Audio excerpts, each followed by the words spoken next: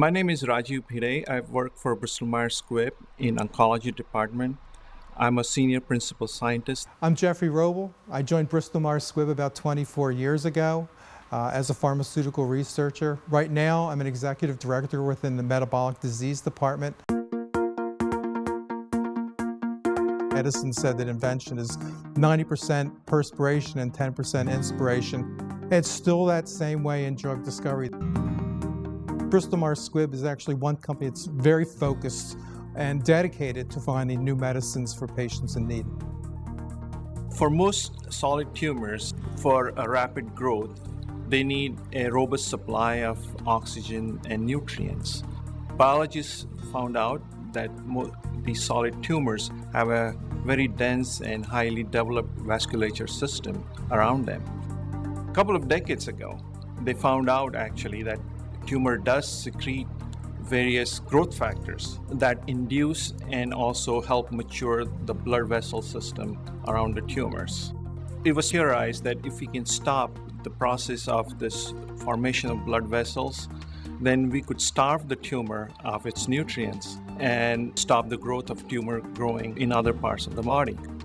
That was the main basis of working on this patent.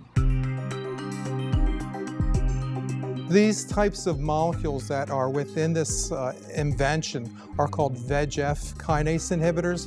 And what they do is they essentially block the angiogenesis or, or um, blood component that uses to feed the tumors that are actively growing um, in patients suffering from cancer. And by administering these types of compounds, what we hope to do is shut down the blood flow to the tumor and therefore stop the tumor growth. It takes years of clinical studies to find out whether compounds are effective or not. And right now, the compound is in phase three clinical trials, and we're hoping sometime within the next year or two be able to have a complete enough data package to take to the FDA to say this is a very effective drug for treating these types of, of tumors and cancers. And we'll get this drug on the market as quickly as we can, assuming it has the, the right efficacy profile.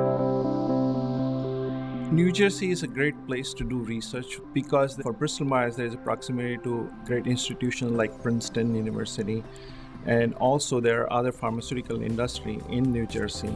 If you really wanted to do world-class medicinal chemistry and pharmaceutical drug discovery, New Jersey is where you need to be and it's still that way in my mind today.